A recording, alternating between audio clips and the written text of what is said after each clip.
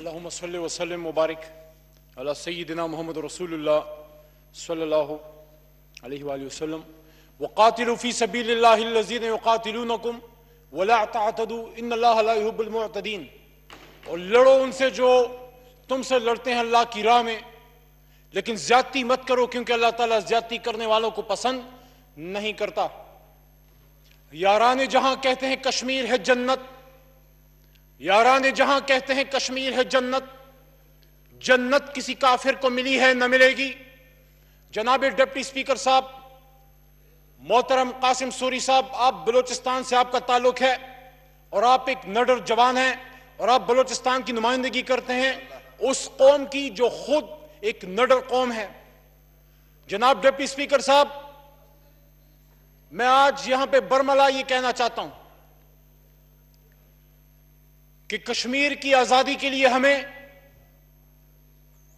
لفاظی سے زیادہ دل و جان سے ایک پلان بنانا ہوگا۔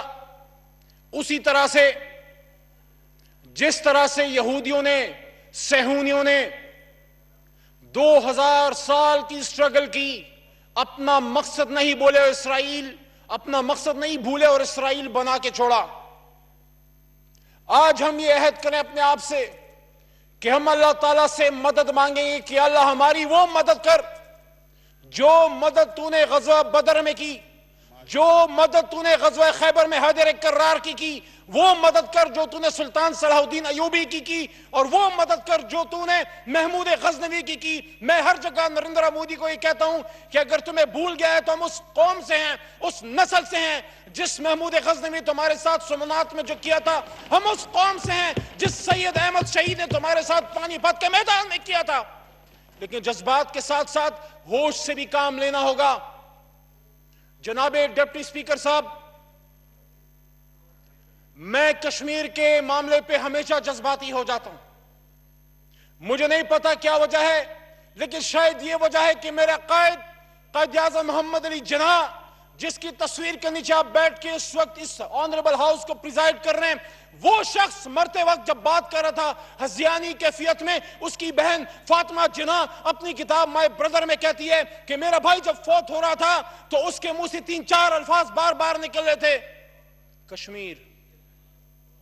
مہاجرین مہاجرین اور فلسطین۔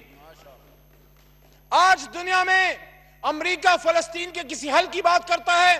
جو بات عمران خان صاحب نے کی، جو اس قوم کے دلوں میں ہے، وہ یہ ہے کہ مسئلہ فلسطین کا حل جب تک فلسطینیوں کی مرضی کے مطابق نہیں ہوتا، وہ حل پاکستان کو منظور نہیں اور مسئلہ کشمیر کا حل جب تک کشمیریوں کی مرضی منشا کے مطابق نہیں ہوتا، وہ حل دنیا کو اور پاکستان کو منظور نہیں اور وہ حل کیا ہے؟ وہ حل وہی ہے جو سید علی گلانی پچاسی سالہ ایک بزرگ، اسی سالہ ایک بزرگ جیل کی کال کوٹری میں بیٹھ کے وہ اس وقت ایک کمزوری کی حالت میں، جسمانی کمزوری کی حالت میں، لیکن روحانی طور پر، ایمانی طور پر، ایمان کے ایک بہت بلند مرتبے پہ کھڑے کے کہتا ہے کہ ہم پاکستانی ہیں اور پاکستان ہمارا ہے۔ جب وہاں سے آواز آتی ہے، مقبوضہ کشمیر میں سری نگر سے آواز آتی ہے کہ کشمیر بنے گا اور وہاں بچے، بچیاں، بڑے بوڑھے سب بات کرتے ہیں کہ کشمیر بنے گا۔ وہاں سے آواز آتی ہے، پاکستان! تو یہاں پہ پھر کیوں میرا دل نہ کرے کہ ہم یہاں سے سری نگر انشاءاللہ سری نگر انشاءاللہ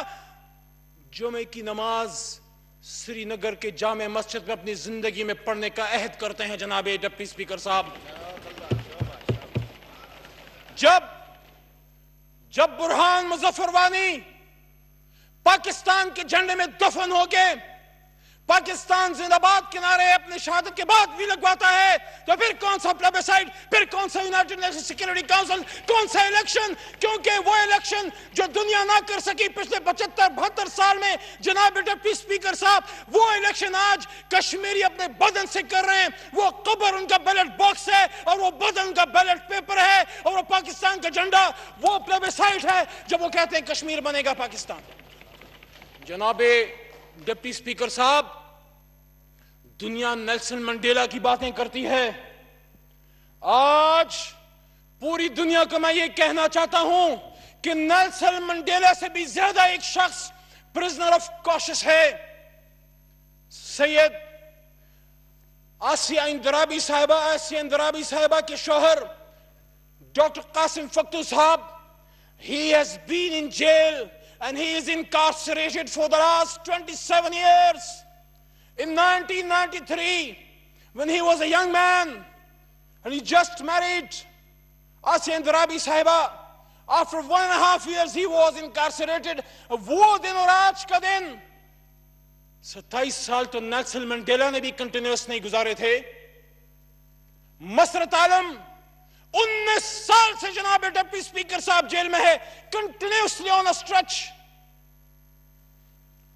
آسیہ اندرابی صاحبہ گیارہ سال کلیکٹیولی آن آف جب آپ اکٹھے کرتے ہیں، گیارہ سال سے جیل میں ہے یاسین ملک صاحب کو جوانی میں ان کے بدن کو بوڑھوں سے زیادہ کمزور کر دیا گیا ہے، لیکن جذبہ جوان ہے انشاءاللہ، ان کا جذبہ جوان ہے۔ جناب ڈپٹی سپیکر صاحب، یہ کیا سمجھتے ہیں؟ میروائز عمر فاروق کو اور ہمارے ان بے شمار وہاں پہ جو سیاسی قیدی ہیں جو کشمیر کی آزادی کی جنگ لڑ رہے ہیں، ان کو جیلوں میں ڈال کے وہ جذبہ مان کر سکیں گے۔ وہ جذبہ مان اس لیے نہیں ہوگا کہ میں یہاں سے یہاں سے نریندر مودی کو کہنا چاہتا ہوں کہ تم نریندر مودی کہتے ہو کہ تمہارا ٹوٹیں گے، میرا لیڈر کہہ گیا کہ کشمیر ہماری شہرک ہے اور کچھ چیزیں مجھے مجبور کرتی ہیں کہ میں جذبات سے زیادہ کام نہ لوں۔ لیکن جب تم کہتے ہو کہ ہندوستان سے مسلمان نکل جائیں، وہ مسلمان ہندوستان میں جو اپنے آپ کو ہندوستانی کہلوانا پسند کرتے ہیں، تم ان کے کہتے تم ہندوستانی نہیں ہو اور وہ کشمیری جو کہتے ہم ہندوستانی نہیں ہیں، زبردستی تم نے ان کو چھ مہینوں سے جیل میں ڈال رکھا ہے۔ نہ کھانا ہے، نہ پینا ہے، نہ علاج ہے، نہ دفتر ہے، نہ روزگار ہے، نہ اسپتال ہے، کچھ بھی نہیں ہے۔ جمعہ کی نماز تک پہ ان کو جانے نہیں دیا جاتا۔ تو میں آج پورے پاکستانی قوم کو کہنا چاہتا ہوں، ہماری نہ نماز قبول ہے، نہ ہماری روزہ قبول ہے۔ جب ہماری ماں بہنوں کو رات کے اندھیرے میں ہندوستانی فوج اجتماعی آبرو ریزی کرتے ہیں ان they use rape as a weapon of war وہ جذبات میں مغلوب ہو کے اسی سال کی عورتوں کو ریپ نہیں کرتے؟ وہ جذبات میں مغلوب ہو کے چار پانچ سال کی بچیوں کو ریپ نہیں کرتے؟ وہ اس کو یوز کرتے ہیں ایک ویپن آف اور ٹیکٹک کے گھر کے بچوں کے سامنے ان کے اسی سالہ دادی کو ریپ کیا جاتا ہے، ایک باپ کے سامنے اس کے پانچ چھ سالہ بچی کو ریپ کیا جاتا ہے۔ میں یہ نہیں کہہ رہا، ریاست پاکستان یہ نہیں کہہ رہی کہ چڑھ دوڑیں اور چڑھ جائیں۔ اور ایٹمی وار چھڑ جائے، لیکن کچھ تو سوچیں خدا را۔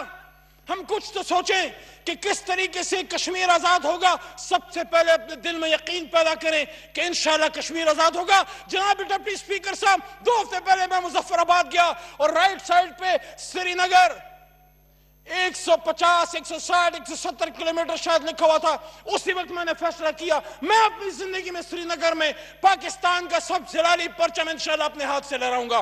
کیا آپ میرے ساتھ یہ عہد کرتے ہیں؟ انشاءاللہ۔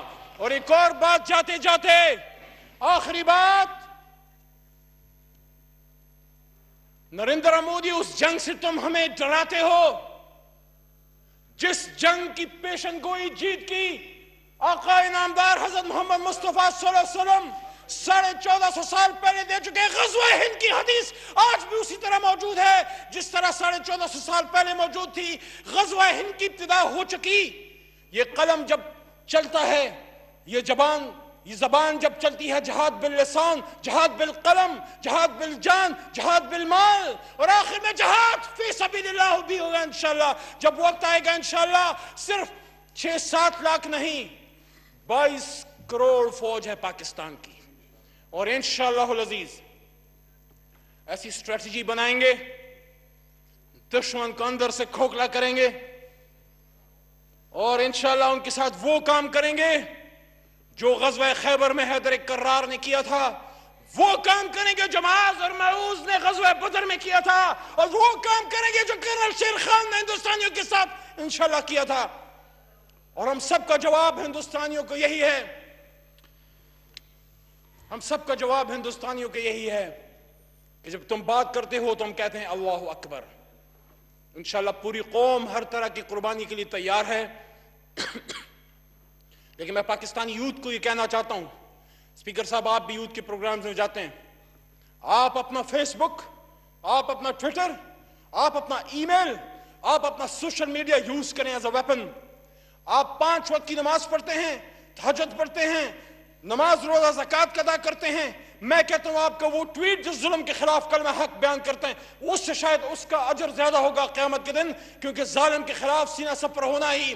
رسول کریم صلی اللہ علیہ وسلم اور میدان کربلا اور امام حسین رضی اللہ عنہ کا ان کا میسج ہے۔ انشاءاللہ پاکستان کو مضبوط کریں گے، کشمیروں کے ساتھ ہر دم کھڑے رہیں گے۔ اور انشاءاللہ یہ ایوان نے پہلے بھی ثابت کیا ہے، آج پھر ثابت کر رہا ہے اور کل پھر ثابت کرے گا۔ جب کشمیر کی بات آتی ہے، جب فلسطین کی بات آتی ہے، جب پاکستان کی بات آتی ہے، پاکستان کی بقا کی بات آتی ہے، پھر یہ پورا ایوان جو ہے وہ اکٹھا ہوتا ہے۔ اپنی غلطیوں کو بھی ٹھیک کریں گے اور انشاءاللہ کشمیر کی آزادی میں کشمیروں کے ساتھ شانہ بشانہ کھڑے رہیں گے۔ اس شیر کے ساتھ میں اختتام کرتا ہوں۔ اس شیر پہ ضرور سوچئے گا۔